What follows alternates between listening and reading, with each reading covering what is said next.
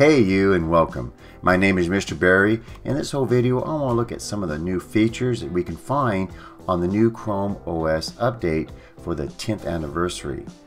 Now you'll see these on personal Chromebooks and you may or may not see them on school Chromebooks as the admin may have blocked some or most of these features.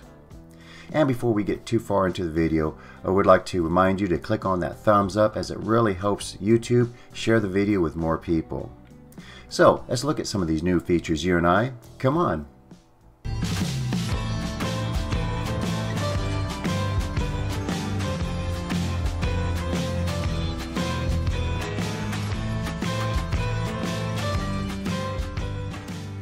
Hey, here I am in my Chromebook. Now if you notice at the lower right hand corner of the computer screen there are a few icons that didn't exist uh, last year. And I'm going to look at the icon that looks very similar to a smartphone first. That's called our phone hub. And I'm going to go ahead and click on that one there and it comes up. And in order to make this work you have to have an Android cell phone and you have to have Bluetooth turned on on both the cell phone as well as the Chromebook.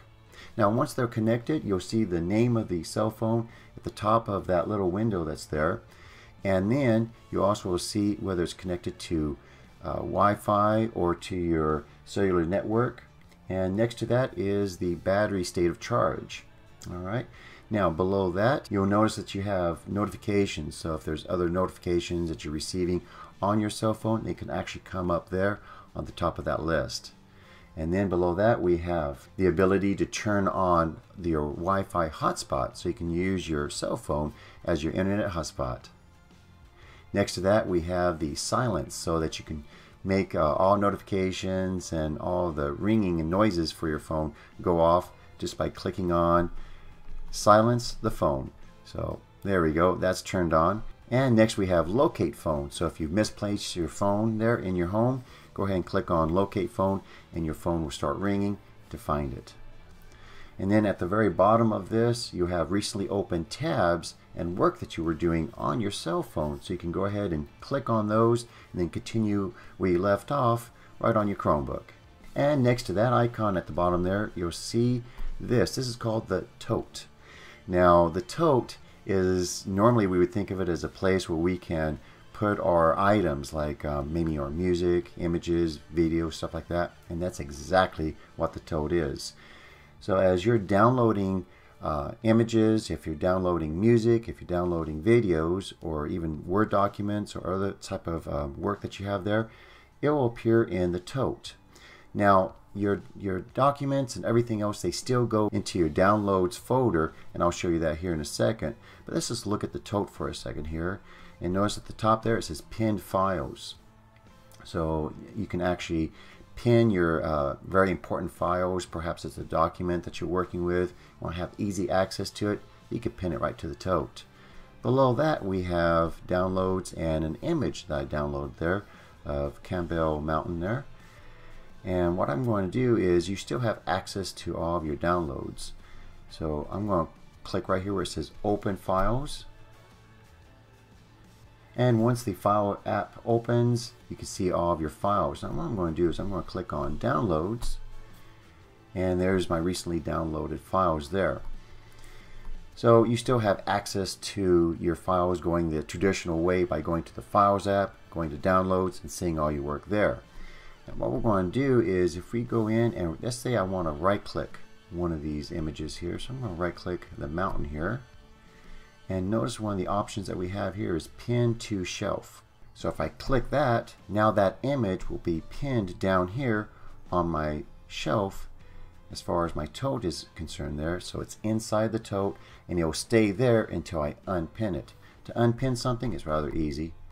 Just right click it and click on unpin. So there you go. Now it will be taken out of the tote in due time. Normally, the most recently uh, three or four downloaded items we found right there in the tote. The next thing I want to look at are changes inside the notification area. So if I click on the time, it comes up and there's all my notifications there. But I also have other features. Now, one thing that I really talk about in my classes is being able to go in and check things on your Chromebook. So um, if you ever want to check your Chrome OS to see what version you have, you click on the time and then this window opens up and then right there where you see a, it looks like a gearbox there, click on the gearbox and now the settings opens. Now this is the Chrome OS settings which is a little bit different than the Chrome browser settings. For example, if you look at the very bottom of this list right here, it says About Chrome OS. And you can click that. Now this will open up and it will show you your Chrome OS version as well as other information there. You can actually check for updates. So if you don't have the newest update yet with all these features, you can actually click right here where it says check for updates. Now I want to show you some of the new features here that we have with what's called screen capture. Now in the past I was able to capture my screen by going control plus the key that's above the 6. So I would hold down control key and then tap the key above the, the 6 there and that would capture the screen. Well now there's an easier way to do this. What we would do is we would actually go in and click on screen capture and I can capture a still image. I can actually capture video now by click sliding this over to the uh, video slider there and I can capture my whole screen as a video as you see that I'm doing it now. Some of the other features that we have here are not so obvious as a new icon or a new tool that's sitting down at the bottom of your screen. For example, now we have what's called Wi-Fi sync. So if you log into a Wi-Fi such as Starbucks with your cell phone, later you can go in with your Chromebook or other devices and it will remember that you've logged into that network and it will log in automatically for you when you're in that location. And another feature that I love using because I'm often editing uh, work such as documents and also video files right on my Chromebook is now a copy and paste feature. Now in the past I would go control C to copy an item such as text or something there and then I would go to my other document and go control V to paste that text into the document. But now we have what's called the clipboard built into the operating system. And that allows us to save five different copies or five different elements in the uh, clipboard and then use those five different items there in my work. So that really saves you time so you don't have to go copy and paste and copy and paste on each item. You just copy your five items, it remembers those five items, and then you can paste those items one by one into your work. So remember, whenever you need that clipboard opened up, just press the everything key or the little search key there on your Chromebook's keyboard and the V key together, and that will open up your clipboard. Next, I want to talk about quick answers. Quick answers will automatically provide helpful information like a definition or even a translation of a word right whenever you right click on any word that's found on the internet or within any of your documents. This saves you a lot of time because now you don't have to open up a separate tab or a separate web page and look up that item. Now the next feature is called desks. Google has basically supercharged Desk to help you organize all of your workspaces. Now to find desk, click on the overview mode key which is just above the 6. This way, when you reboot, your windows will restore to their previous desks so your workflow isn't interrupted. Simply right-click at the top of the window to send it directly to all of your desks. And swipe across your touchpad with four fingers to switch between which desk that you want to be viewing. In this way, you can be working with many different projects at one time. And the next feature that we have is personalize the lock screen. And we already have this feature on our smartphones. So it's kind of nice to have this on our Chromebooks too. With this feature, you can display a photo gallery that you have or show other information such as weather or other apps that you want to be looking at such as the stock prices.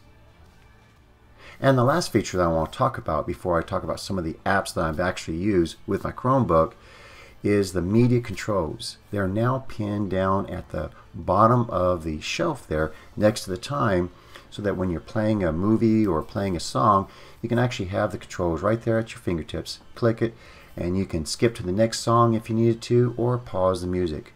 So it's kind of a nice way to have a uh, controller for your media right there, right on your shelf. Now for this next segment, I want to talk about some of the applications I actually use with my Chromebook to make it useful. Number one, of course, is Google Drive, Google Docs, Google Sheets. Now I have a whole series of videos of going in, it's called Computer Literacy 2020, and I'll have the playlist right here above me. Click on there and actually get into that playlist. This is a great playlist if you're brand new to computers or if you're brand new to the uh, Chromebook. There's a lot of information in there. There's more than 30 videos. Next, I do use Microsoft Word and Microsoft Excel with Microsoft Office. And I have a special video for that. Actually, I have about 20 different videos on that.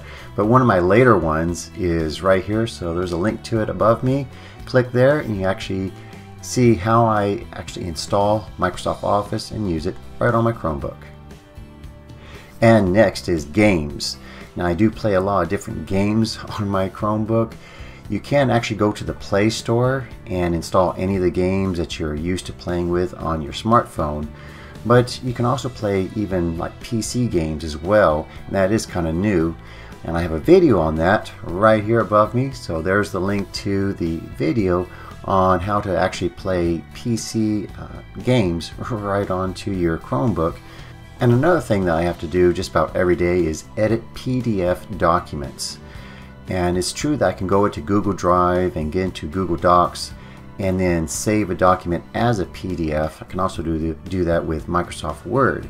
But what if I have an existing PDF document that is emailed to me and then I have to basically change things in there like as if it was a form. Well, I have a video on that as well. It's The link is above me. So just go ahead and click on there and you can see how to edit PDF documents right there on your Chromebook. And another thing that I do with my Chromebook is I do edit images. And so, yes, you guessed it, there's a link to the video there on some of the ways I do edit images right on my Chromebook. And the last topic that I want to talk about here is Flixier. Flixier is a video editing program and actually allows me to create videos like the one that you're seeing here directly right on my Chromebook. I don't need to use a PC, don't need to use any other um, computers, which is great. And uh, so let me show you and take you a quick tour of Flixier. Flixier is a cloud-powered video editor that runs right in your browser. It enables non-linear video editing with plenty of features to satisfy even advanced users. Among them, you can cut, trim, delete, and reorganize video clips right on a timeline. Additionally, you have access to many different video effects, motion graphics, and even audio editing. One of the nicer things about Flixier is team collaboration. Projects within your media library can be shared, allowing multiple people to work on the same video and instantly pick up wherever someone else left off, cutting down a lot of collaboration time. If you want feedback on your work, you can share a review link with others without any rendering being involved. This means that collaborators can leave time-stamped comments, giving you quick and precise feedback in real time. Once you finish working on a project, all you need to do is click on the export button and with their quick cloud-based rendering technology, the video is exported within minutes, saving you many hours in the process. So hey, there you go. Make sure you do check out Flixier there. I will have a link to uh, Flixier down in the description of this video. And I just want to say thank you uh, for all the wonderful comments I've been receiving on my other videos. And so if you like these types of videos, please give it a thumbs up, comment down below because I do love to read your comments. Thank you very much and bye bye.